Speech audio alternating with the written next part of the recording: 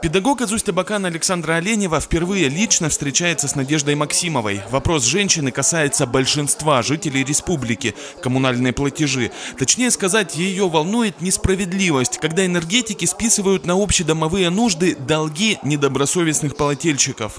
Эта проблема должна быть решена именно на законодательном уровне, поскольку я в течение пяти лет занимаюсь этой проблемой, и проблему эту никто не хочет решать или не может но проблема эта не решается. Как показывает практика, коммунальная проблематика всегда во главе списка. Вот, например, две жительницы нового района в Сайногорске жалуются на водоснабжение. Как такового, его там вообще нет. Городские власти организовали подвоз.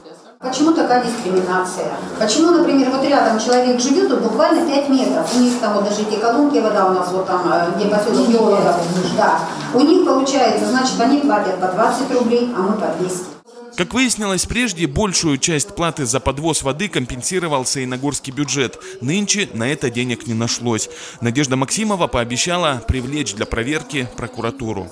Мы увидели понимание, мы услышали, нас услышали нашу проблему, сказали, что в части, как бы вот они хотят сделать запрос депутатам. А Надежда Сергеевна сказала, что э, по максимуму постарается нашу проблему не вникли, постараются нам помочь. Мы надеемся на это. Выслушивать предложения и жалобы не только населения, но и продуктивно. Обсудить их на внутрипартийных дебатах единороссов – оптимальный вариант решения большинства проблем. Тема улучшения качества жизни населения. В стране уже несколько лет работают национальные проекты, будь то здравоохранение, образование, доступная среда. Результаты очевидны.